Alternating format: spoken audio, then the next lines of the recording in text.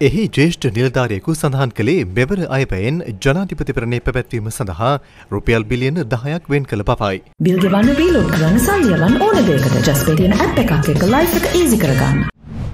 මැතිවරණ කොමිසම කරන ඉල්ලිම මත එම මුදල මුදාහැරෙන බව ඔහු ප්‍රකාශ කළා. මේ අතර ලබන ජූලි මස අග හෝ අගෝස්තු මස මුල් දින කිහිපය තුළ එළබෙන ජනාධිපතිවරණය පිළිබඳව නිල වශයෙන් ප්‍රකාශයට පත් කරන බව ජාතික මැතිවරණ කොමිෂන් සභාව පසුගියදා පැවසුවා. එහි සභාපති RMAL රත්නායක මහතා සඳහන් කළේ සැප්තැම්බර් 17ත් ඔක්තෝබර් 17ත් අතර කාලය තුළ අනිවාර්යයෙන්ම ජනාධිපතිවරණය පවත්වන පවයි.